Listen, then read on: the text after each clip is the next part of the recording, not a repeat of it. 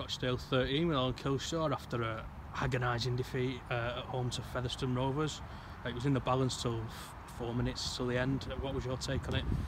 Well, look, when driving out of training yesterday with 16 players and um, looking how busted they were, he probably offered me that result. We would have took it, but um, you know, I thought our efforts de deserved a little bit more.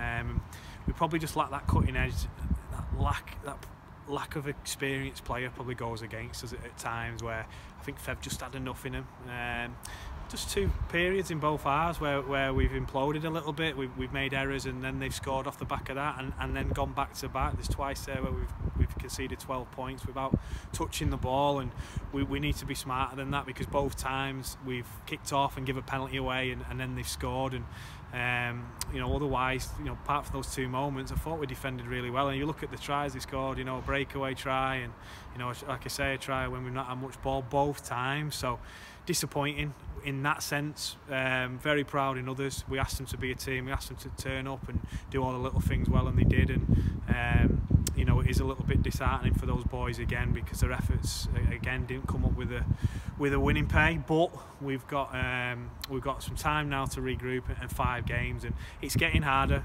You know, let's be honest, it's getting harder.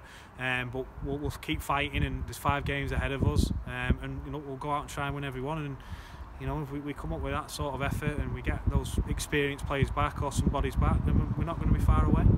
It was a funny game really because the the first half and the second half were carbon copy of each other. You start well, two quick try, quick fire Featherstone tries, and then there's an arm wrestle.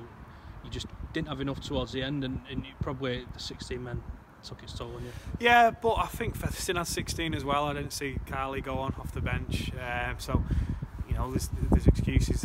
We lost a couple of blocks during the game. We lost Miles with a groin, and you know he had a good game and he's not played for so long, so there's always a chance of that. Look, Lewis Hatton's playing now with broken ribs and, and, a, and a serious knee injury, and how brave was he? And that's what's what we're looking for, and that's what we're at. And you know, if if nothing else, we've shown how brave we are today. And look, we, we know it wasn't the same personnel. But last time we were playing these, we were getting beat 46 0 at half time. We got beat 80 points to four. So there must uh, be a level improvement there from our boys and, and, a level of desire and they've got that togetherness. And like I say I'm not worried about these next five games because I think if we turn up like that you know you know who knows? But even if we did win all those five it might not be enough. So I think the good thing is we've got this week off. We've got this, this rest now and we'll still be in training Tuesday Thursday and we'll freshen up and Swinton will be pinpointing the game. And I know they'll have a they've had a disappointing loss today again and we'll be pinpointing the game. And you know it's, it's huge for both sides and you touched it then the week off.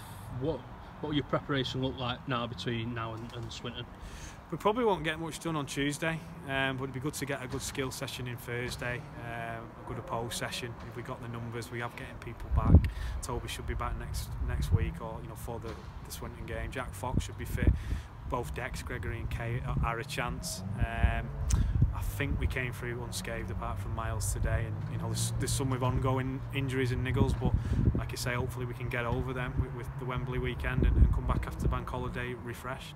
And the crowd really got behind behind the lads today. Obviously there was a big following from from Fev um, but it, it's been a bit doom and gloom recently but I think you, you might have won a few people over with the way the heart and, and, and the soul of the players today I think since the last Featherstone game, I think we've we've we've turned up and had a dig every game. You know, we've I think um, you know we beat Swinton, we challenged Leigh, we were good in Toronto. Um, you know, we went and challenged Halifax for periods, and we've had two you know agonising defeats in the last two weeks, haven't we? And uh, I think the one thing is about putting that that that jersey on and, and, playing with that pride and I think we have done and I think our fans respond to that and they did today and you know I thought both sets of fans were good. You know both sets of fans will have different disappointments for different reasons. Obviously Featherstone not making the four and our guys because we're at the foot of the ladder but uh, I thought both sets of fans got behind you know both sets of players and it was always going to be a scrappy game with the weather and it was a little bit stop start and the ruck speed wasn't the, the fastest for both sides but like I say I think that the, the both sets of crowds you know showed their loyalty to, to the players and